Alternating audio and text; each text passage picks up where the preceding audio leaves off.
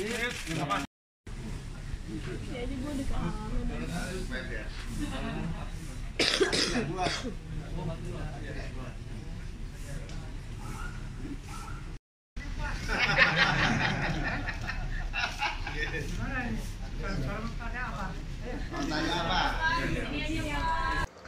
Ketua Umum Partai Kebangkitan Bangsa Muhaimin Iskandar alias Caimin sambangi kediaman Wakil Presiden ke-6 Republik Indonesia Trisutrisno pada Sabtu 20 Mei 2023 sekira pukul 10 pagi waktu Indonesia bagian Barat.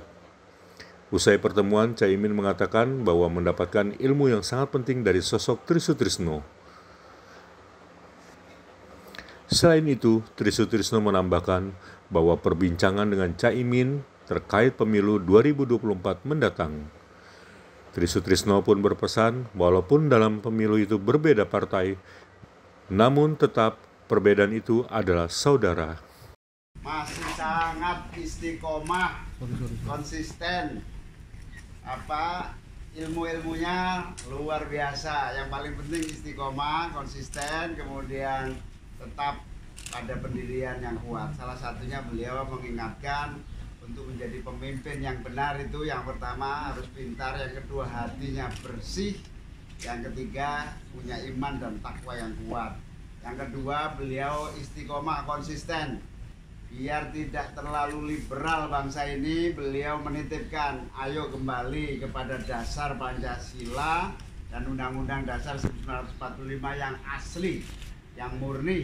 Jangan seliberal kebablasan. Kira-kira gitu ya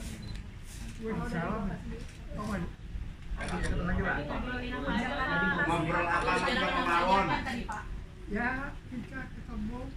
Kerja lagi yang penting.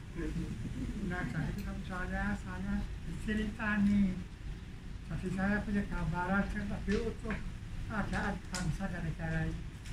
Lebih lebih ini nah, pemilu.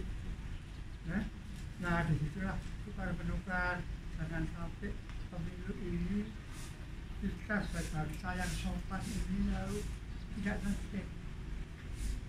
Dan tertib ya, gentleman karena semua ini walaupun beda partai beda rumah itu adalah saudara bangsa ya itu saja.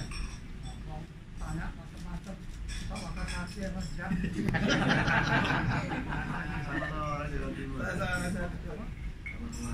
ada lagi yang nanya?